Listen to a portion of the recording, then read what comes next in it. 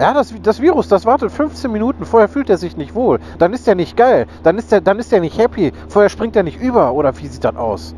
Ja, ich kann mich doch auch mittags um 1 Uhr komplett volllaufen lassen und mich anstecken. Was hat denn die Uhrzeit damit zu tun? Hey, ich bin, ich bin Corona von nebenan. Äh, wenn, du, wenn du dich mittags besäufst, dann passiert ja gar nichts. Besäufst du dich um 23 Uhr, dann bin ich geil, dann komme ich, dann, dann mache ich die fertig.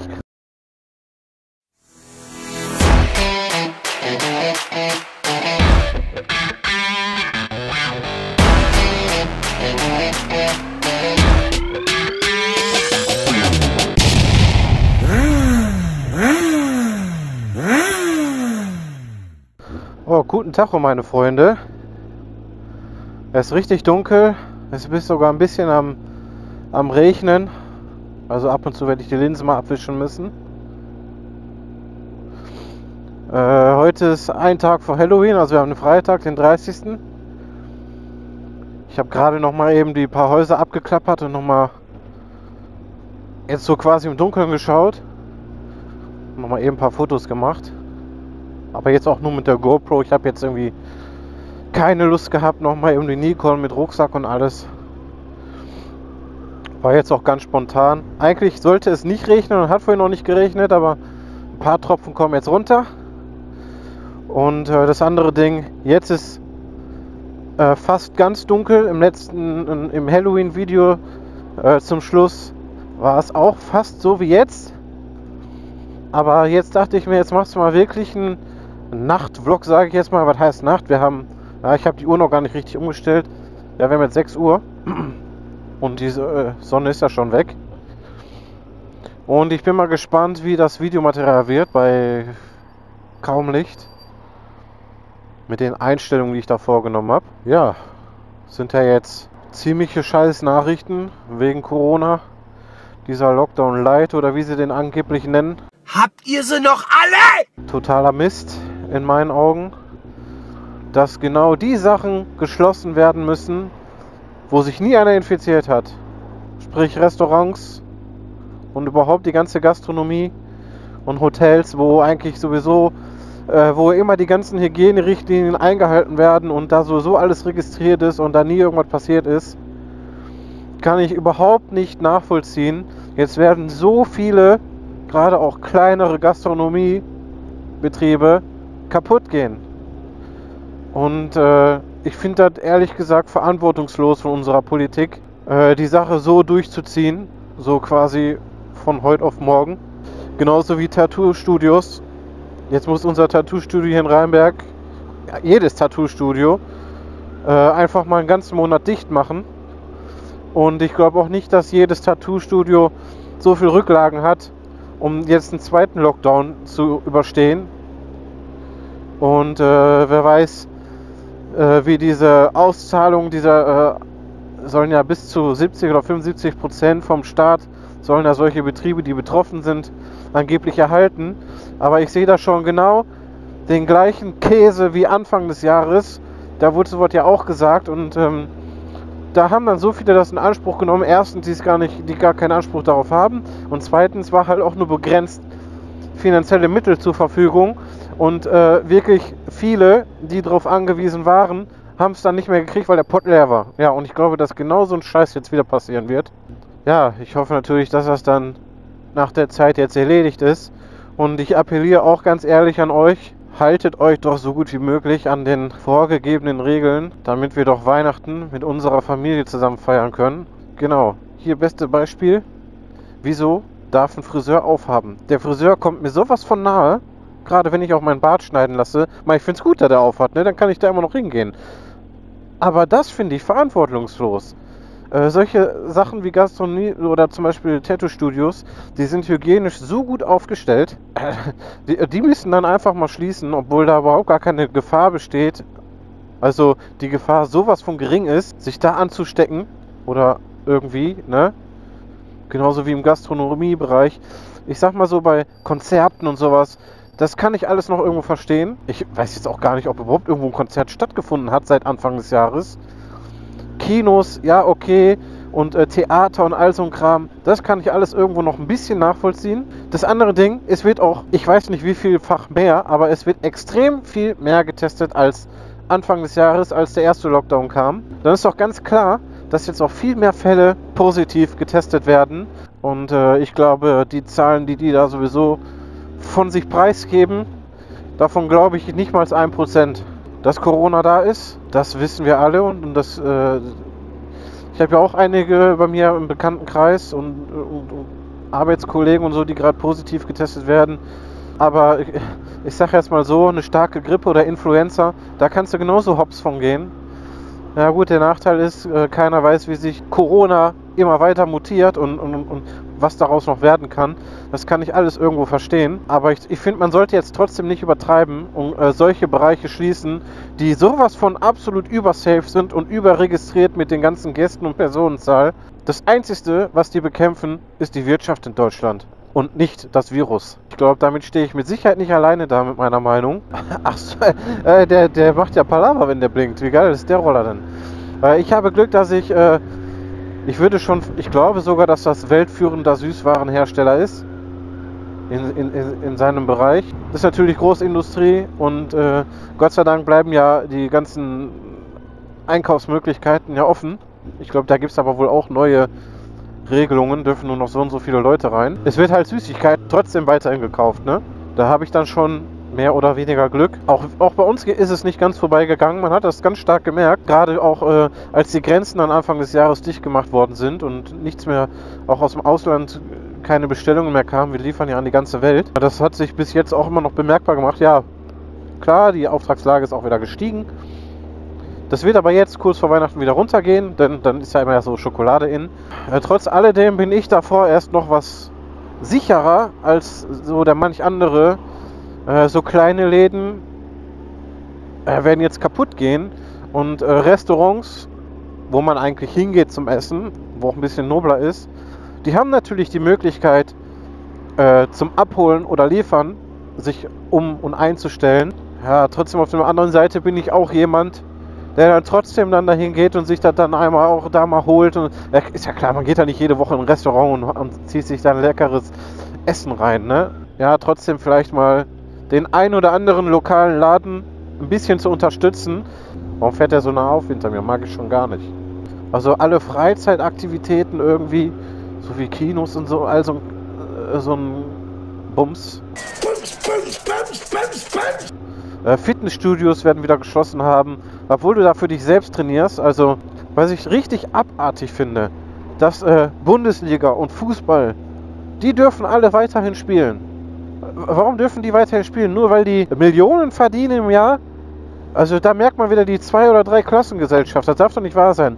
Kleine Kinder die, sag ich mal, in der Nachbarschaft sowieso immer zusammenhocken, dürfen draußen nicht mehr Fußball spielen, weil sie vielleicht aus drei Haushalten kommen und nicht aus zwei. Aber äh, die Fußballspieler, die dürfen alle zusammen. Das darf doch nicht wahr sein. Das gibt's doch gar nicht. Wo sind wir denn hier? So was gibt's nur in verkackten Deutschland mittlerweile. Ehrlich, ich, ich könnte mich so aufregen.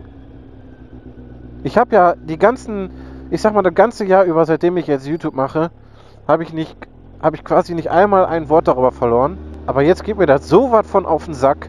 Ist halt die Frage, inwiefern Corona tatsächlich gefährlich ist. Es gibt ja dann natürlich die eine Seite, die sagt, Corona ist gefährlich, Corona ist lebensgefährlich und ja, weiß nicht, was ich dazu sagen soll. Ob ich daran glaube oder nicht. Ich weiß auch, dass eine Grippe oder auch der Influenza-Grippenvirus sehr gefährlich sein kann aber nicht muss.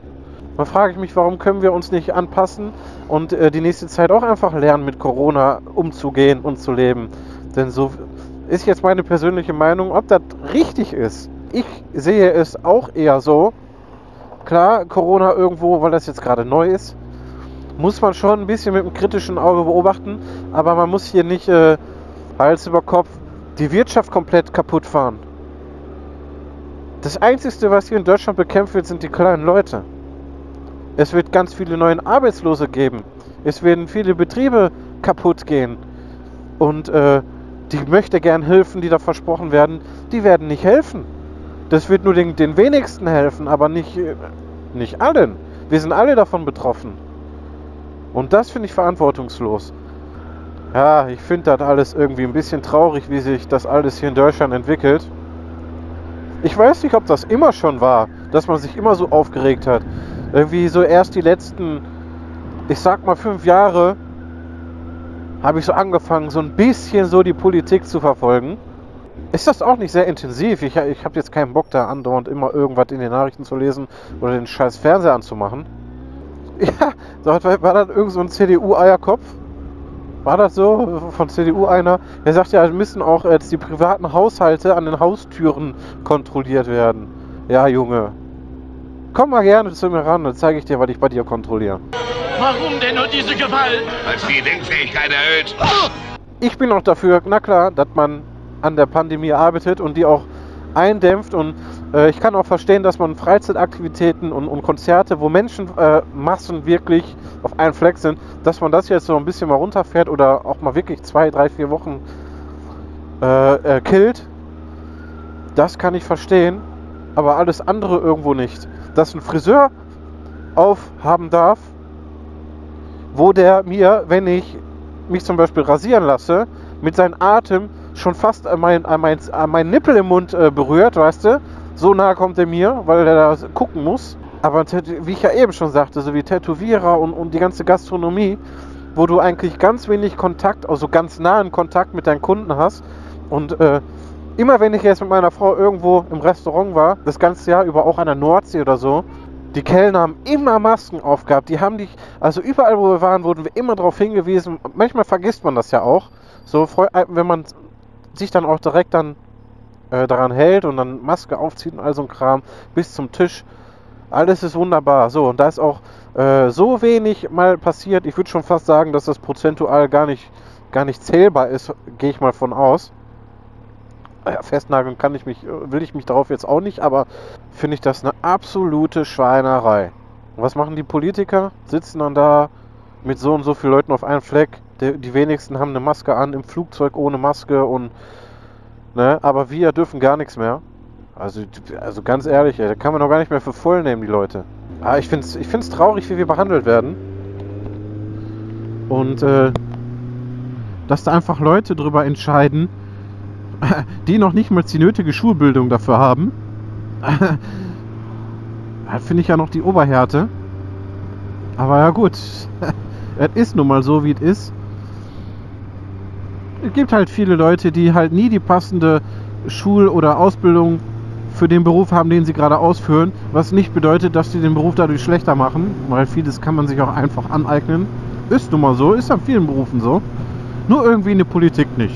Da funktioniert das vorne und hinten nicht. Definitiv nein. Naja, egal. Genug von Politik. Mein Appell an euch, guckt, dass ihr euch irgendwie daran haltet. Ich meine, für mich ist das auch ein scheiß Jahr gewesen, jetzt auch schon seit Anfang des Jahres durch Corona. Die ganze Motorradclub-Szene, die ist so weit von runtergefahren, es finden keine Partys statt. Äh, wirklich, ne, wir haben, wir sind einmal rausgefahren, also eine Motorradtour, eine kleine. Ansonsten, äh, die, die noch Arbeit haben, die müssen jetzt mehr arbeiten. Ja, schon allein dadurch äh, kommt dann halt viel nicht mehr zustande, weil wir natürlich habe ich schon. Also wir fangen ja die ganze Wirtschaft, die noch übrig ist, auf. Alles ist runtergefahren. Irgendwie, schon das ganze Jahr. Alles irgendwie ganz komisch. Für mich sowieso ein komisches Jahr. Zwei Todesfälle in der Familie. Dann kommt Corona. Dann, äh, ja. Ostern war eine Scheißzeit wegen Corona. Du durftest. Ich glaube, ich glaube, da war das auch nur so mit zwei Haushalten, so und so viele Leute und so. Und ja, wenn ich dann schon, ich habe ja noch eine Schwester, und wenn ich dann zu meinen Eltern will, dann sind wir auch schon drei Haushalte. Das ist doch, ach, das geht doch, Leute, ey. Ja, hier werden Familien auseinandergerissen sozusagen. Das darf auch nicht sein. Andersrum, wenn du dann so eine Großfamilie hast, ich sag jetzt mal, der Kern der Familie ist beisammen und die fahren dann wieder nach Hause und die sind überall, ich sag mal, ich sag jetzt mal, in einem großen Kreis verstreut und haben da dann immer noch Kontakt auch zu anderen. Ja, und so geht das immer weiter. Ja, das ist irgendwie so, so, so, ein, so ein Für und Gegen, meine ganze Meinung dazu. Weil ich jetzt, weil ich auch ganz ehrlich nicht verstehen kann. Wann kam das denn jetzt raus? War das, ja, Mittwoch war das, ne? Mittwoch hat sich doch Tante Merkel da mit Videokonferenz hat die Mutti sich noch da beraten und dann kamen noch die neuen Regelungen. Ab Montag, den 2.11., sollen dann diese Regelungen in Kraft treten. Warum denn ab Montag? Ist ab Montag irgendwie, hat der Virus dann eine Mutation? Wissen die das schon? Oder? Also, das ist auch etwas, was ich nicht verstehen kann. Da habe ich mich mit Arbeitskollegen drüber unterhalten und sagte auch einer, äh, ja, die müssen ja auch zum Beispiel den, äh, den ganzen Betrieben, die davon betroffen sind, auch Zeit geben, das mit den Mitarbeitern und alles irgendwie zu organisieren. Das kann ich auch irgendwo verstehen. Angeblich sollen ja, wie ich vorhin schon gesagt habe, aber der finanzielle Verlust bis zu so und so viel Prozent ausgeglichen werden. Und ich finde, wenn die Pandemie doch so schlimm sein soll, dann muss doch von heute auf morgen eine Entscheidung treffen und die muss dann wirksam sein. Wenn die doch so schlimm ist, dann können doch jetzt von, also heute ist Freitag, vor zwei Tagen hatten wir Mittwoch, bis, also von Mittwoch bis Montag so viele Leute daran sterben, einfach nur, weil Mutti Merkel sagt, oh nee, das ist erst am Montag schlimm, der Virus. Oder ich weiß nicht, ich, ich, ich verstehe nicht, warum das so ist. Ja, ich rede mir gerade so ein bisschen den Frust von der Seele, sozusagen.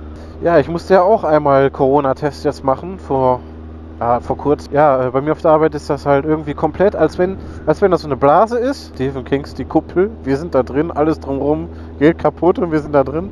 Ja, nee, und dann waren halt, äh, waren ein paar Arbeitskollegen, haben wohl große Hochzeit irgendwie was gefeiert. Ja, und dann äh, eine Woche später wurden die dann getestet. Da positiv, da positiv.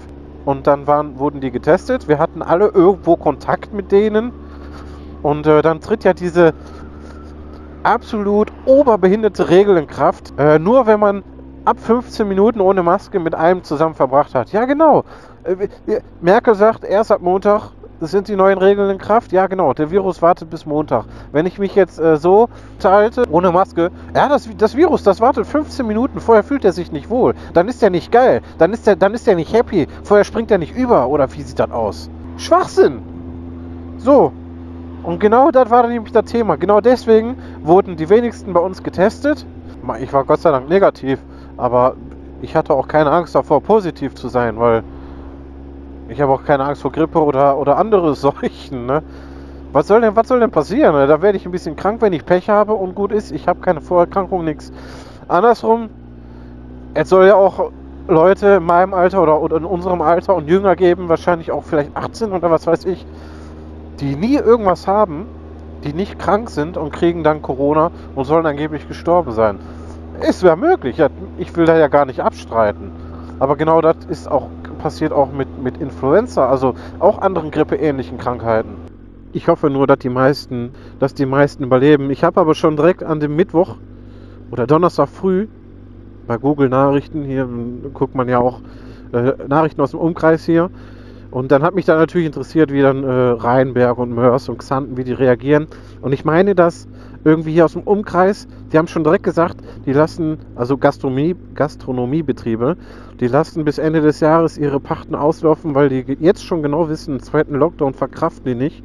Und mit dem, was angeblich vom Staat dann als Hilfe kommen soll, der sowieso Monate zu spät kommt, äh, äh, können die nicht überleben. Das wissen die jetzt schon. Der erste hat die so stark geschadet und müssen dann, ich meine, dass das fünf Stück waren. Ich habe das bei Google gelesen. Ah, Kneipen müssen auch dicht machen. ja, oder äh, diese ganzen äh, Straßen, wo dann Bar an Bar ist und Kneipen und Diskos, äh, die durften ja dann nur noch bis so und so viel Uhr aufhaben, weil dann gab es eine Sperrstunde und ab, ab so und so viel Uhr gab es keinen Alkohol mehr. Ja, ich kann mich doch auch mittags um 1 Uhr komplett volllaufen lassen und mich anstecken. Was hat denn die Uhrzeit damit zu tun? Das ist auch wieder, das ist, also, ja genau. Hey, ich bin, ich bin Corona von nebenan. Äh, wenn, du, wenn du dich mittags besäufst, dann passiert ja gar nichts. Du säufst du dich um 23 Uhr, dann bin ich geil, dann komme ich, dann, dann mache ich die fertig. So oder wie oder was? Da fällt mir nichts mehr zu ein. Ich bin mal gespannt, wie euch äh, das Halloween-Video gefallen hat. Ich denke mal, dass ich jetzt dieses Video wahrscheinlich dann am Sonntag hochladen werde, weil das doch echt extrem aktuell ist. Aber ich habe noch was Aktuelles und auch etwas Schönes aus Rheinberg, das habe ich auch gelesen, dass sich in Rheinberg, da soll eine Straße mit, ähm, mit Krippen geschmückt werden. Also äh, äh Schaufensterkrippen. In Schaufenster sollen Krippen aufgestellt werden. Ne, Gerade jetzt, also zur Weihnachtszeit. Und ähm, Ich finde das eine klasse Sache, äh, weil es fällt ja so viel aus und man darf ja trotzdem dann noch mit seinem Haushalt rausgehen und spazieren gehen und dann hat man wenigstens äh, ein bisschen weihnachtliche Stimmung dann in Zukunft. Ich, ich hoffe ja, dass da äh, viel zusammenkommt und ich habe jetzt leider keine Krippe übrig oder überhaupt eine Krippe. Bin mal gespannt, wie das dann aussieht. Wahrscheinlich, ja, werdet ihr das bei mir auf jeden Fall dann sehen in einem Video, wenn das alles soweit ist. Ich habe ja auch jetzt gestern bei dem Halloween-Video gesagt, ich hoffe, ich hoffe mal, dass ihr mich echt verstehen konntet. Ich habe jetzt ja natürlich wieder meinen guten Helm auf mit dem äh, Sena-System drin und alles. Und äh, ich hatte ja für den anderen Helm, den ich ja in Eigenregie quasi umlackiert habe, habe ich ja erzählt, wie ich da alles gemacht habe. Äh, da war natürlich kein gutes Mikrofon drin. Ich hatte auch nichts anderes zur Verfügung und ich hatte keine Lust jetzt meinen guten Helm auseinander zu pflücken, für ein Video alles umzubauen und dann wieder zurückzurüsten. Und vor allen Dingen einen Helm, den ich wahrscheinlich danach nicht mehr tragen werde. Obwohl, es kommt auf jeden Fall auch ein Weihnachtsvideo und vielleicht brauche ich den dann nochmal. Aber vielleicht überlege ich mir bis dahin, das sind ja noch ein paar Wochen, mir wirklich für die GoPro ein Media Mod zu holen und daran kann ich dann ein äh, richtiges Mikrofon auch anschließen und dann kann ich dann direkt den Ton in die GoPro reinsprechen, sozusagen. Äh, muss ich mal schauen, weil ich finde Media Mod da 90 Euro schon extrem teuer für so einen Scheiß. Und dann brauchst du ja noch ein Mikrofon. Äh, ich hoffe auch, dass sich einige auf den Weg gemacht haben zu Halloween, von Tür zu Tür gegangen sind mit Kostüm und alles. Lasst euch das nicht nehmen. Ist euch ja auch nicht verboten, solange ihr halt äh, die Ansammlung von Personen nicht überschreitet und die Haushalte nicht überschreitet. Denn ich finde nicht, dass man aufhören sollte, deswegen jetzt zu leben. Deswegen bin ich mal gespannt auf eure Resonanz zu meinem Halloween-Video. Irgendwie hat der schlechte Ton, äh, so jetzt, wo ich das auch bearbeitet habe, am Anfang dachte ich mir, boah, kacke, was machst du jetzt? Nimmst du das vielleicht neu auf und so und ja, da war ich hin und her gerissen. Dann dachte ich mir, aber dann musst du den ganzen Scheiß umbauen. Oder du musst halt mit deinem Helm jetzt. Ich hätte auch mit dem Helm fahren können. Und irgendwie. Ja, auch. Es haben einige Sachen nicht so funktioniert. Oder ist dann nicht so eingetreten, wie ich mir das geplant hatte. Aber das ist ja meistens so. aber ich hoffe ja trotzdem, dass ich da was Schönes für euch zusammengeschustert habe. Was soll das denn jetzt?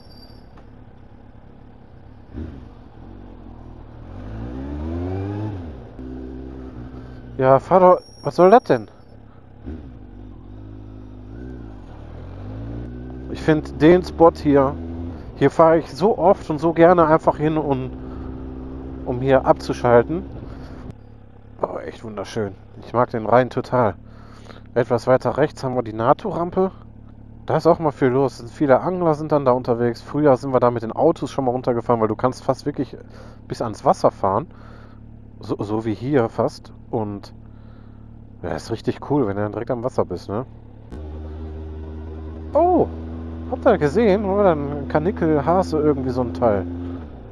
Der war gar nicht mal so klein. Wenn ich da. Wäre der vor meinen Vorderreifen gerannt, dann hätte ich aber gelegen in der Kurve. Das Gute ist, ich kann trotz alledem immer noch Videos für euch machen, Motorrad fahren und alles. Ach so, kleine, äh, kleine äh, Werbung am Rande.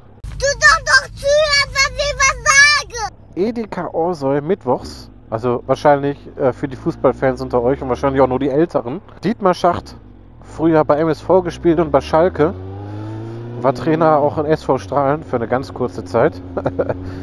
äh, der hat so eine kleine Currywurstbude, so eine mobile. Und der ist mittwochs, meistens mittwochs immer hier bei Edeka. Und ich kann euch sagen, so eine leckere, geile Currywurst. Oh, schön hier mit den Kürbissen. Oh, geil. Dann äh, jetzt langsam wird mir ein bisschen kalt.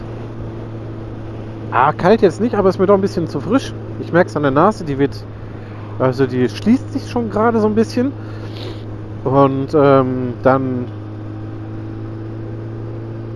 ich gehe jetzt in meinen YouTube-Keller, kann man ja schon fast so sagen, und schneide jetzt das Video für Sonntag, also damit ihr das Sonntag sehen könnt. Ich hoffe, ihr habt für mich ist es morgen, für euch ist es gestern. Halloween einen schönen Tag. Noch sind die Maßnahmen ja nicht nutzt es mit Vernunft aus, was noch möglich ist. Und ich hoffe, das Video hat äh, ein bisschen Spaß gemacht oder äh, hat euch gefallen. Und ich hoffe, das heutige, ja gut, das heutige ist ja ein bisschen ernster. Und äh, wir sehen uns dann die nächsten Tage irgendwann wieder. Und äh, dann sage ich mal, ja, haut rein, Leute.